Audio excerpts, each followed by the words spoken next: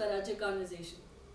Karnataka is considered the knowledge uh, hub of the country, and uh, many of best of the minds of the country have been nurtured here. Many prominent institutions have risen here, and the present uh, state government, the BJP government, has been in the news for making many changes as far as the educational sector is concerned, mainly primary and secondary education, be it the curriculum in the textbooks, the midday meals, um, and many more. So, to discuss all this and more, today we have with us the Minister for Primary and Secondary Education, Sri Suresh Kumarji. Welcome, sir. Uh, in the last 100 days, what has been your assessment of the primary education scenario in Karnataka? Uh, yes, I'm inching towards 100 days. So it has been a very enriching experience. In Karnataka, we are focusing more on quality rather than result oriented work. It should be quality oriented work. So our efforts are uh, beginning in the primary stages, primary stages. So three things have happened in these 100 days. The first thing, uh, for almost last four years, the transfer issue was hanging. So the whole transfer, that uh, process has been completed. Yes, there were heartburns because of this. And after finding out the uh, rather lapses in this whole uh, uh, transfer policy, I have come out with major amendments. Uh, after having conversation with the teachers, teacher organization, etc. So that will be in place after our first session in the month of January. The second thing is appointment of PUC lecturers. About 1,500 lecturers. So the list has been out. It was waiting since two years. So that has been completed. The third one is appointment of primary school graduate teachers. It was, uh, it is about uh, 10,500 in number. That was also pending for the last uh, few years. So that process has been completed, the list has been published. Apart from this, we are more focusing on reducing the weight of the school bags of the students. Because it is, uh, it has been the issue since decades. Even the great uh, writer R.K. Narayan, in his only speech in Rajya Sabha, he had specifically mentioned about this. So we are coming out with a formula which will be in place from the next academic year. Wherein I am very hopeful that the, the weight of the school bags of the students will be drastically reduced. And we, are, we also decided to go for one day in a week, bagless day for all the schools. So that will be also in place by the next academic year. Uh, given your novel initiative of interacting with stakeholders, you said in terms of your interaction, I've watched a Samvada uh, Karikam. So it feels very surreal also that people actually have uh, an approachability now. Like they were, I, I heard somebody say like, "Sir, you're in transfer marketing," and it was very much like uh, it's straight out of a film, and they're calling you. So what has been the greatest learning as far as this interaction? No, since first day, since first day, I am really conversing with all the stakeholders. I think for the first time in Karnataka, I as a education minister, I had a conversation, dialogue, samvad with school going teachers. About 300 students were there. And the suggestions that came out of that uh, uh, samvad were really better than an any educationalist can give.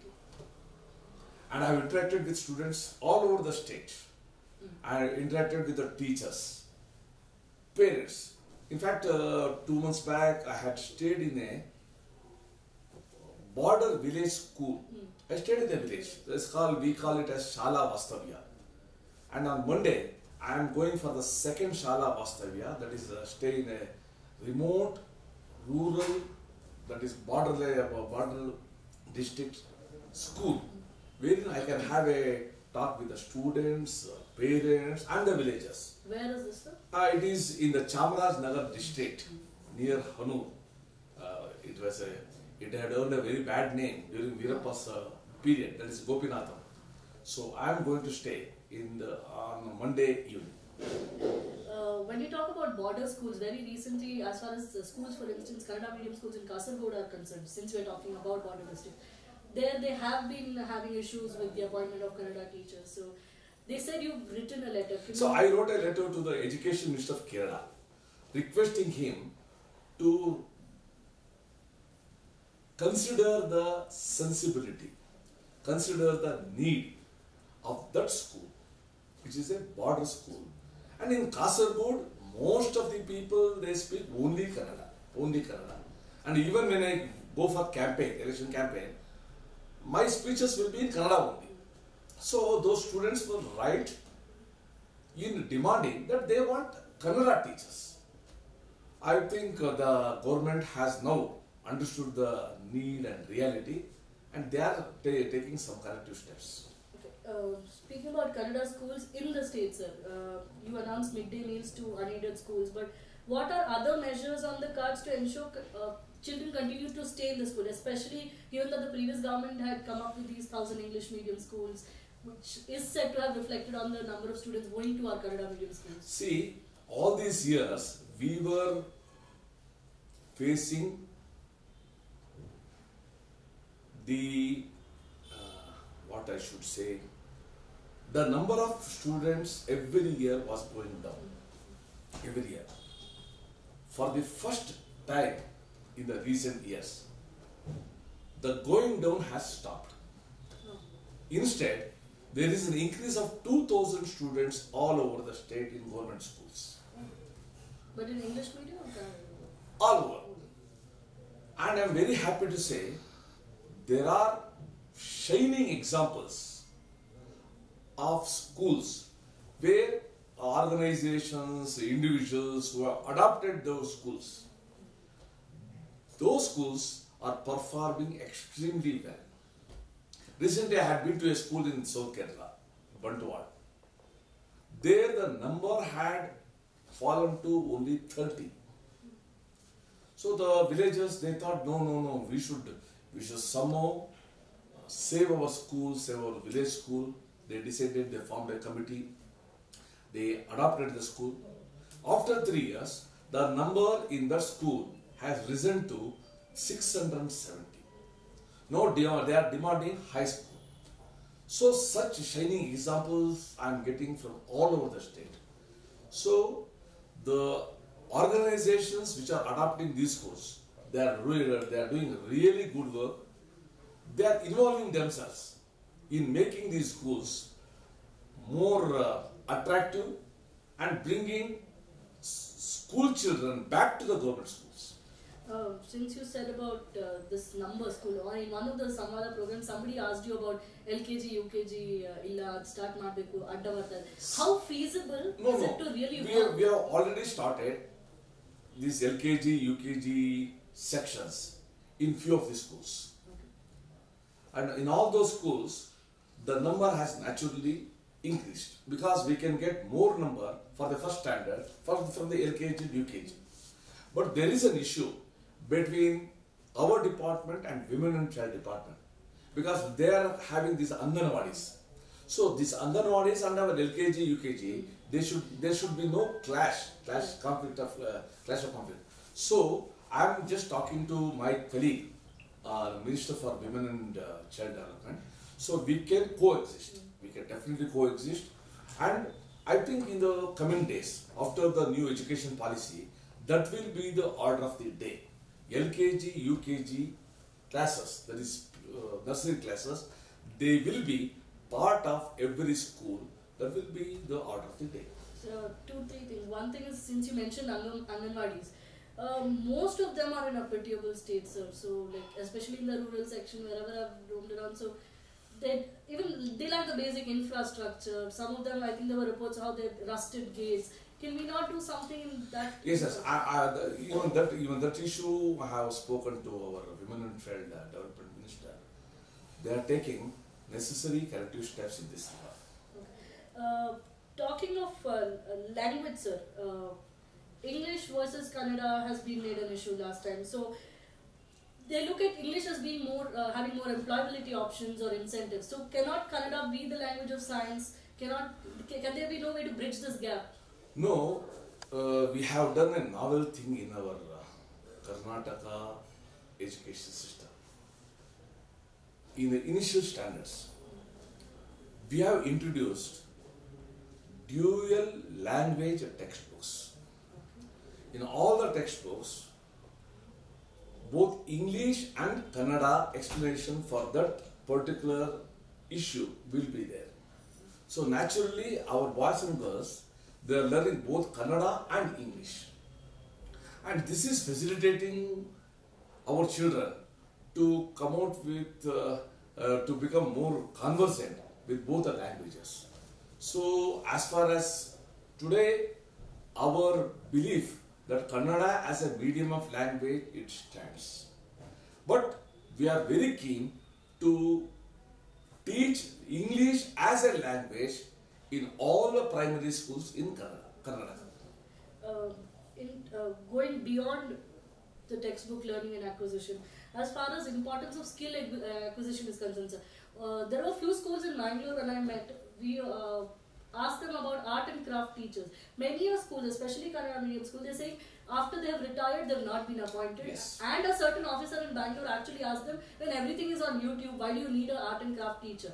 I think that is a I mean, very very uh, crude manner of uh, explaining anything. So how do you? So yes, we have shortage of craft teachers, music teachers, even physical education physical teachers. education teachers. So for physical education teachers, we are coming out with a uh, system to appoint more physical education teachers, and we will we will see that one physical education teacher can cater to the needs of the schools in his cluster, three or four schools. Similarly, we can also think about the music and craft teachers, which is very essential in the uh, formative ages of our students. Especially when uh, at the center you've been talking about Skill India. At this, isn't it very You're right. important? You're hundred percent right.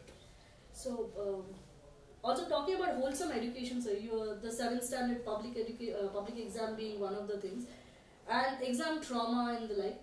Suicide students uh, have been increasing. How do you address wholesome education or the way to mold, uh, I mean, the school education in a way that it's not stressful? So we have directed all our DIET principles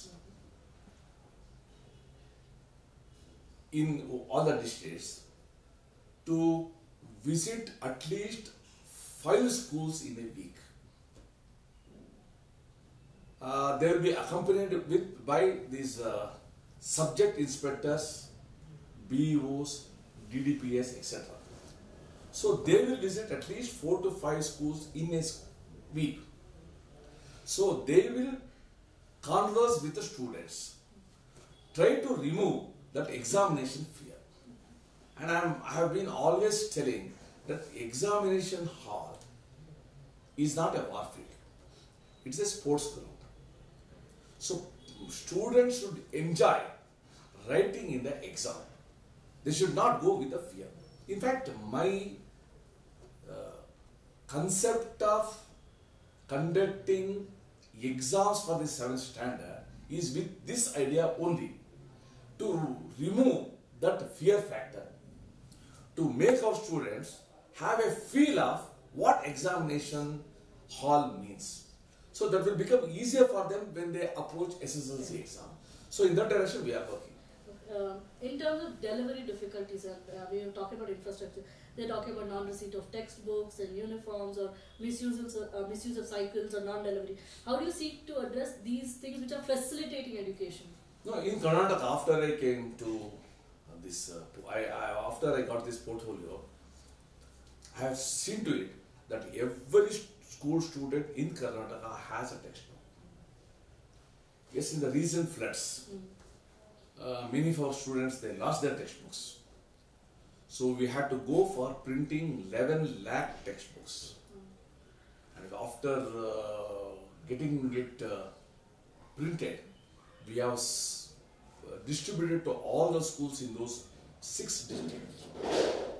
And today, I have made my plan very clear that on the first day of admission in 2020, the students should have textbooks in their hands and also uniform.